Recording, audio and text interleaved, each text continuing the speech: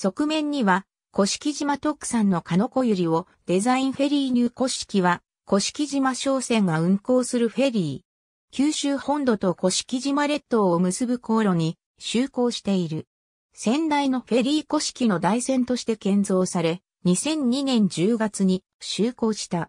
下古式島長浜港から串式の港へ1日に往復運航されており、上り2便はノンストップ、下り2便は里港の未寄港となる。中古式港、手打港への寄港は2012年4月のダイヤ改正で廃止された。船内は1階中央にエントランス、案内所、トイレを備え、船首方は2等椅子席、船尾方は2等カーペット席、船尾デッキにベンチ席が配置されている。2階は2等指定席として、カーペット席、ソファ席が配置されている。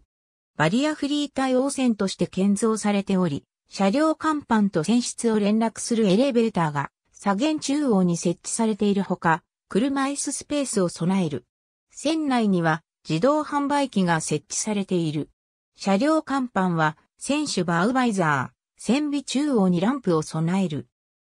2011年9月28日、14時36分頃、下り1便で運行中だった元船が、長浜港のフェリー岸壁に着岸する際、通常は防波堤手前0.25海里で減速してから、フィンスタビライザーを収納して接近していたが、事故当日はうねりが大きかったため、船体動揺を防止する目的で、防波堤通過までフィンスタビライザーを使用した状態で接近したところ、行き足を制御することができず、選手から可動橋へ衝突した。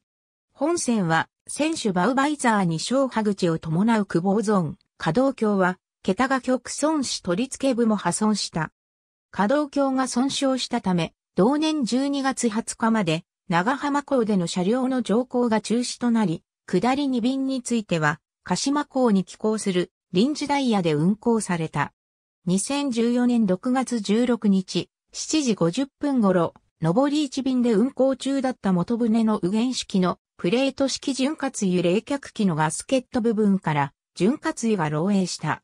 右原手機が運転できなくなったため、串機の購入行後、以後の運行を取りやめた。漏洩の原因は、電熱プレートの端部の変形であった。ありがとうございます。